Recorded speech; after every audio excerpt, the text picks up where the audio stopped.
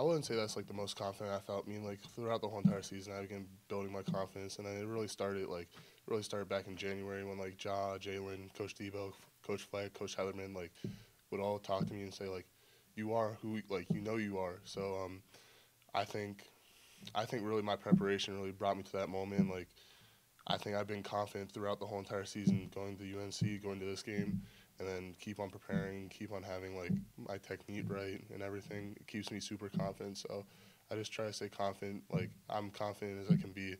So yeah. Anthony, how big of a challenge is a run game that's pretty diverse and has a lot of options, including the quarterback run game? Yeah, it's diverse, but um, our preparation throughout the week definitely propels us to do whatever they throw at us. So that's all we're focused on is our preparation for the game.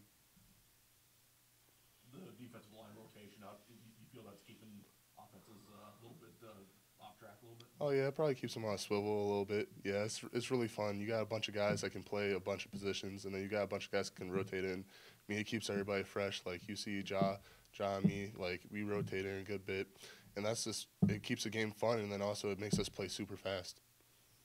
Anthony, what do you think was the biggest area of improvement from the D line between the North Carolina and the Rhode Island games? Um, I would say just our connectivity. I mean, like this in any poised moment. I mean, were poised in UNC. Not saying like anything, but like uh, just like in preparation too. This like if we can find one little thing that we can exploit, then we can exploit it.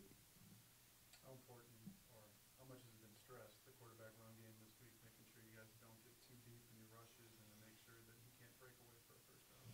Again, it just goes back to preparation. I mean, we're just locked in on our preparation. So like, no matter what happens, and no matter what they throw at us in any like situation that comes our way, we just prepared in the moment. We prepared in practice. So when it happens, we're we're all ready. This is your last non-conference game before you start Big, Big Ten play next week. Is there a danger of looking ahead at all? No, I mean the whole entire team looks as this is the biggest game of the season. I mean it's a one game championship, so that's how we look at it, and that's how we prepare. You seem to enjoy Koi's answer to the, the punt return where they wanted to take it to the third. Just, is that kind of the demeanor and vibe he gives off? Like, Oh yeah, he's a he's a great kid. I I love Koi. I mean we all make jokes like about Koi and like he's like our savior. He's I love the kid. His personality's so dope and like it's just fun being around him, especially like him being a freshman. Like sometimes they come in don't really like show their full personality, but like he came in just he really shows his whole personality. I I love him for that. Anything else for Anthony? Devin had a big strip sack in that game. What type of improvement have you noticed from him as he's continued to develop? Dev, um, again, just preparation, and then like er, like I say, like this like confidence. That's I feel like that's the whole like demeanor of the D line, and then um, it was funny before the play. He was like, "I never get sacked before," like, and we put we put like our like defense on the field, and then that play happens, and he's like, "Holy like," and it was yeah. So like again, just preparation and just staying confident is probably the biggest thing for Dev. And he's done that in the offseason. He's prepared his butt off the whole entire offseason for those moments like that. All good with Anthony? All right. Thank you. See you guys.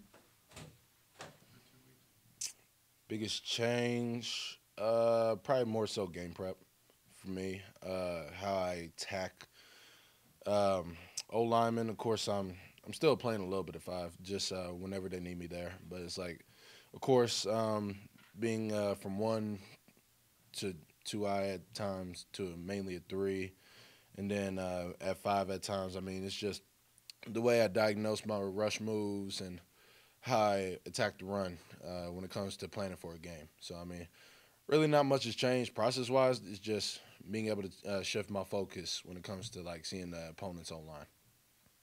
Jalen, Nevada mixes up their personnel groupings and has this option game within it. Uh, how important is communication and identification when you're going against a scheme like that? Yeah, man. Uh, communication is always crucial. I mean, when it comes to defense and then offense, I can't really speak on them, but I know it's going to be crucial for them.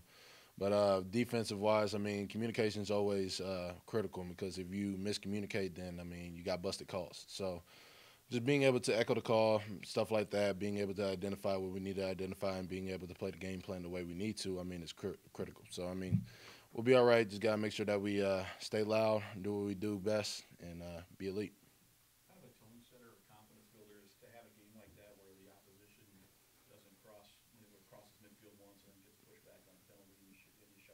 hmm I mean it. I mean it feels great. I mean we really don't focus too much on it. I mean of course we learn from it. Um, what we did well, what we didn't do well, uh, what we could do better coming into the next week, and uh, of course uh, we we earn our own confidence. So I mean we always build upon what we uh, set out to go do. So I mean. Uh, it feels great, but at the end of the day, I mean, we put that behind us. I mean, that was a team who we uh, were set out to play, one and zero championship season, and that one's done. So now we were focused on uh, Nevada, obviously. So cohesiveness and advantages of having most of the guys back from last year. Mhm. Um, just what you, how you've grown in a year as a unit. yeah, uh, I mean, within the year as a unit, uh, as a D line specifically, or just a team. Uh, just as a, as a group individually. All right, yeah. I mean, um, me, uh, I'm gonna speak on me first. Um, me individually, I just continue to see guys fill into those roles that we need them to fill into. Uh, that that is um, one of the big outstanding things that I see, whether it's Anthony or whether it's um, Deven Eastern from last year and continuing to build upon what he's doing this year, and then Nate Becker, him too, and then people like Darnell coming back and doing what he does for the D line or even like young guys like Corey Parrish. I mean, he he just hopped in and now he's doing what he's doing. I mean, he's he's going to be a great player. I mean, and we got a lot of people that have the potential to be great players here at the University of Minnesota, and that's what we are built upon. Uh, built upon growth, built upon um, opportunity, built upon development mainly. So I mean, just seeing how that continues to take stride as we continue to go throughout the season, especially in these first two games and then going into Nevada. Andrew. Anthony really popped off on, on film Mhm. from that Rhode Island game. What, what stood out to you about his performance and his growth as a player? I mean, Anthony's just a great player. Uh, he's he is what you see on film.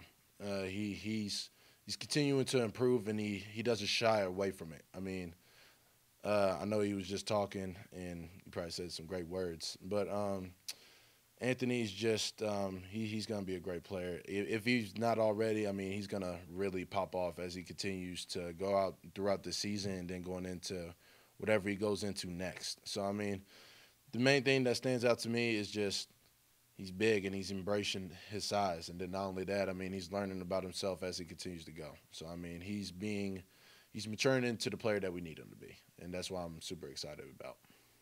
Jalen, you mentioned all the different alignments that you're able to play from. What's it been like this year being able to move the defensive line around and get matches, especially in those passing down?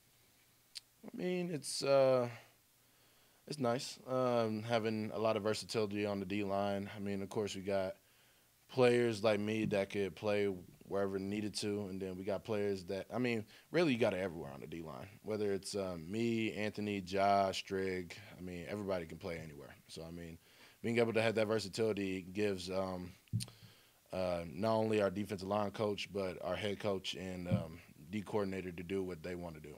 So just being able to give us flexibility and range, essentially. So I mean, love it right now. PJ said that he thought that was Deven Eastern's best game as a Gopher also. Did you see it that way? What did you see from him? Uh, so far, yeah. Uh, I've seen great games from Devin playing alongside him, and then of course past games where we used to have like KB and those guys. So I mean, Devin has a lot more games to play, and yes, this is his best game. But I know there's definitely better games to come because I've I've definitely seen it in the past. So can't wait to see it. How nice is it for you as a defense when the offense is able to sustain drives like they were able to against Rhode Island and keep you off field, kind of playing that complementary football that Fleck talks about? Say the beginning again. The just on on defense, how nice is it to have an offense that sustains drives? Yeah, um, it's always nice. I mean, I feel like anybody would say that as far as like a team goes. I mean, when you have an offense that does what they do and they're good at it, I mean, any defense that makes their job a lot easier. So I mean, I feel like that that goes for any team in um, NCAA and then Division One football, or even just in any conference in general. So I mean, it truly is a blessing. I mean, having Max, having Tay, having people on the O line, and then having the receivers that we have as well, as well as the running back room. I mean, we got depth everywhere. And I know uh, Coach Fleck talks about that as well. So I mean, truly is a blessing. I mean, I I, I can't thank them enough. So truly love it. Anything else for Jalen? All right, thanks, Jalen. Thank you, thanks. Thank you for having me. myself, I made some few mistakes that shouldn't happen as an older guy. So, uh, you know, I'm I'm pretty hard on myself. So I didn't. The grades don't really matter. It's just that I go out there and perform, and I did. So.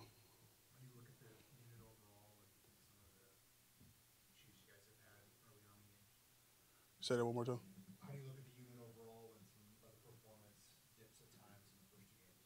Uh, I think the unit, man, we progressing. We we go, we following along within the line. You know, um, Coach Cal does does a great job prepping us for the week and getting us ready to go against our opponents. So.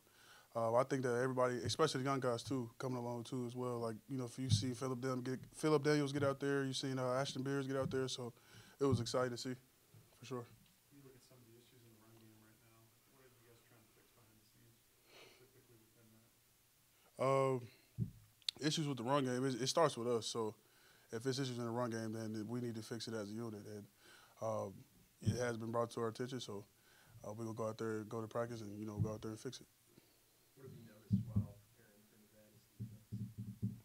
Uh, physical, um, they fly around. They got athletes everywhere, so they got to be prepared for that. Um, they gonna come out there and play. You know, it's it's college football, so I think every team we're gonna get every team best shot for sure. Areas of constant improvement for you as you progress through the season and beyond. Uh, what are personal challenges for you? Uh, really no personal challenges. I me. uh, this is my third year, so um, at the end of the day, you go out there, it's just football, you know, and then, you know, I look to my left, look to my right. I know I got guys who got my back, and it's all about just playing for each other, for sure. So there's really no personal challenges, really. Coach Monroe spoke to the team last Thursday. What did you take away from his message and and what he shared about his accent? Uh, swag daddy right there, yeah. He got that personality. Uh, he gave us a great message, man. Just his whole story and tied it into the, his uh, his speech as well. He did a great job with that. Um, I think that um, it was very inspirational to hear that. You know, so see somebody go through that and be able to overcome it. And uh, we just, you know, try to tie it and bring it with the culture. So I, I thought it was a great speech for sure.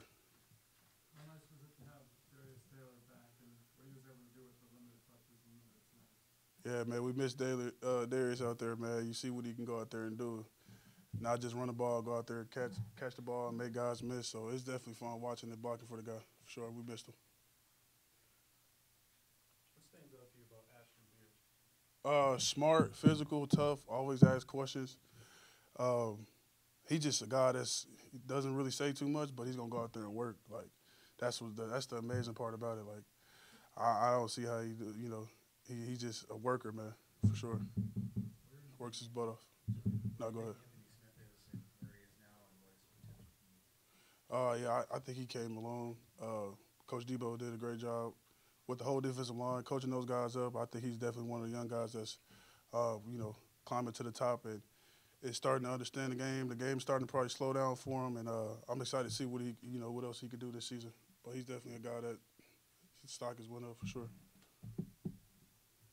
Anything else for anyone?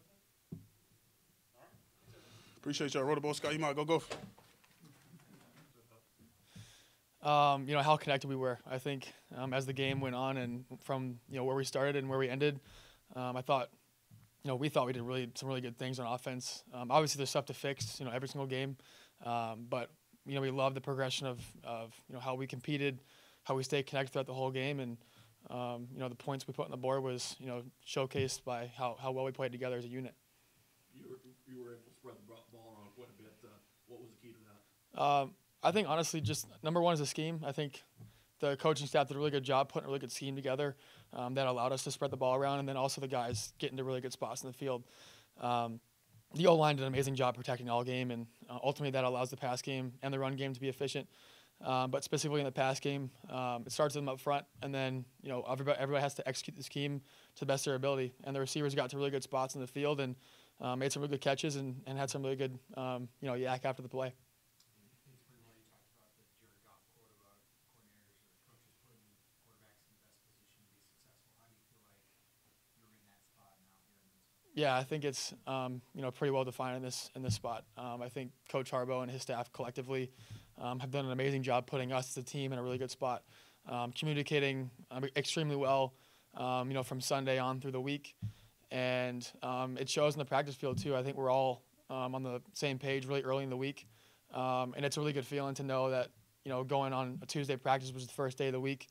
Everyone's locked in and knows what the job is, and everyone knows what the scheme is, um, even with stuff that we're putting in early. So um, that's a, a credit to the coaching staff communicating that, but also a credit to the players um, of you know staying on task and making sure that we're erasing whatever the, the result was from last week, and then moving on to the next week. Max, how much value does it add to the offense when the backs can get involved in the passing game design? A ton. I think you see that in the NFL a ton where you know running backs are, are really efficient in the, in the run game, but also in the pass game as well. And I think that translates to college, um, especially when you have really dynamic running backs like we have in our running back room. Um, you know, ultimately, the receiver's job is or their their jobs are to go make plays in the air um, and you know run game block as much as they can. But when it's time to pass the ball, ultimately, if we're getting a bunch of lift, the the checkdowns are great. Um, and for the running backs to get you know at minimum four or five yards is um, enough to keep the to keep the the ball moving and keep the offense moving and hopefully move the sticks. Um, and so it's it's a, they're doing a great job with that finding space just as much as the receivers are, but the running backs are doing a great job finding space. And um, you could see a little bit of that last week. And so um, I'm proud of them for kind of sticking with it um, and you know for how much they've done in the past game so far. Uh, number one, they're they're extremely athletic. Um, you know, I, I've seen a lot of, a lot of film so far on them, and um, they're fir- the first thing that stands out. They're athletic. They, they have a lot of playmakers on the defense side of the ball. Specifically, um, they have great scheme. I think they, they put a lot of guys in the right spots as best as possible, and um, they're very dynamic up front too. And I think it'll be a really good challenge for us offensively.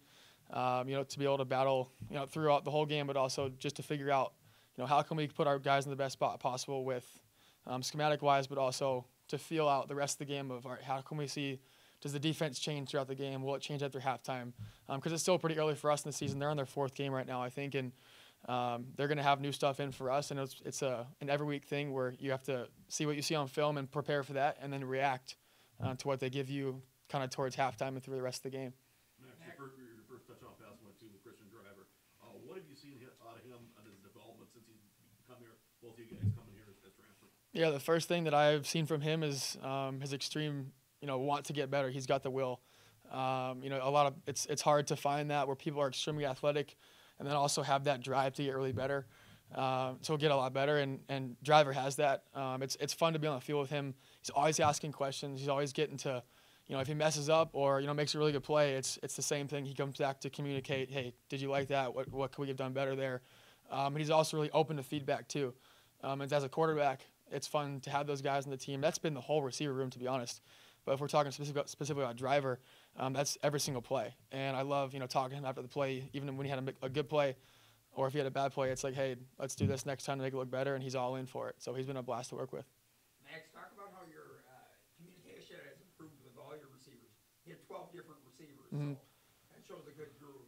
Yeah, I think it, it starts in January. It's all the, the stuff that you know isn't you know isn't shown outside of the walls that we've been working in, um, and you know it's it's the time spent outside the facility. It's the time spent inside the facility where no one's no one's here, and we're doing the own, our own work on our, by ourselves.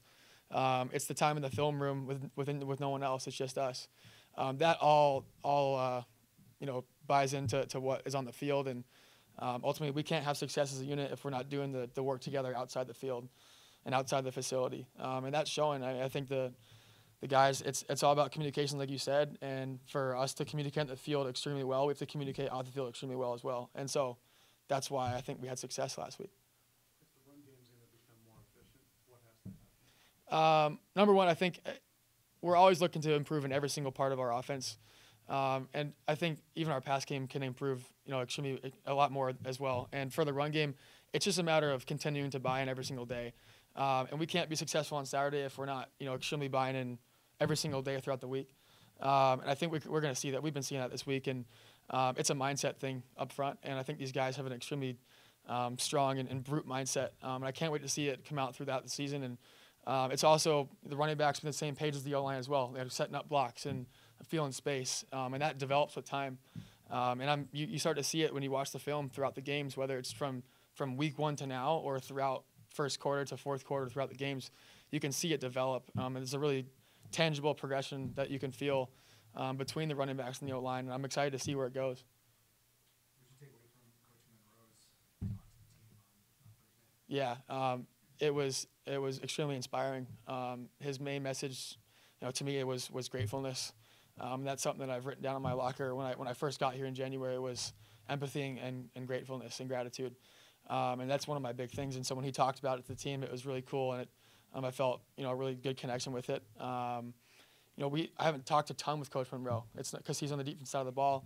Um, usually we're battling um, more uh, during practice than we are communicating outside, and um, you know, got it got you know for me to, to be able to understand where he comes from, um, and you know what he believes as a person uh, and his morals. It just reassures me that you know this place is, is definitely home, and for our whole team as well. Like I, I think his message was one of the best that I've heard you know throughout my whole college career. Um, and I honestly, the, the first thing I said to him after was thank you. Like I really appreciate it. Like it really meant a lot to me. And I still, I kind of still think back to it too. I have a ton of notes from that from that meeting. You, uh, think of opportunity? Very cool. Yeah, it was. I think the first thing I said after the game was it was a really cool big brother moment. Um, we put so much work in together, um, you know, outside the outside the facility, off the field, um, and to see it um, come to fruition on the field for him was a really cool moment.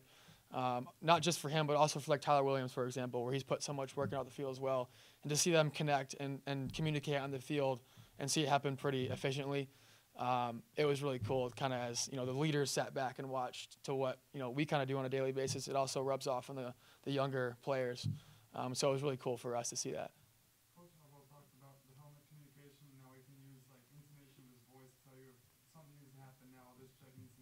Coach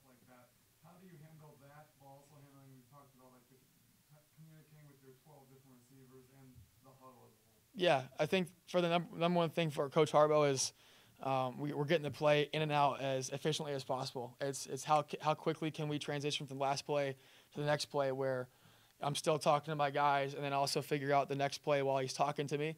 Um, and so that's the main thing is trying to figure out when I need to stop talking to my guys and listen to Coach Harbaugh, and then how long he needs to uh, pause and wait for me to finish talking to the guys. So that's been an interesting dynamic. Um, and then also it's it's cool if we you know you get the extra few seconds before the 15 second uh, shut off um, to where we can actually you know kind of listen together and, and talk together. I can't talk back but he can talk to me like hey like remember this check or remember this check? Um, and that allows me to communicate really efficient with the guys. Um, ultimately if i'm on the same page before he even talks to me it's even better um, to know that you know we're on the same page and aligned um, before he can even say the play Time for two more? You guys went, uh, a faster tempo some of that game. Are you, you think you're more comfortable when, when things are clicking and you can get a rhythm, or does it, does it hinder you? I think it just depends on the the flow of the game. I really do. I think um, Coach Harbaugh has a, a reason for why he calls plays and when he calls plays and the tempo that he calls plays. Um, and our job is to execute whatever is put in front of us. Um, and I think that something that we've been really good at so far is when we have to transition to tempo. Um, I think my receivers and my O line and running backs and tight ends have been really great with that. Um, and communication is really big in that in those tempo periods. Um, and so you can you know see how well our communication has been um, since we started the tempo stuff in week one and how it's developed from now. Um, and then also just the ability to transition between the two tempos, regular and huddle, and then also when we're up tempo. Um, that's what the helmet headset's really cool about is we can. It's not as much me looking at the sideline. It's like, hey, we're gonna go tempo here. Let's go up tempo. Um, and so it's cool to kind of feel the, the flow of the game out that way, and then also use that as a way of communication.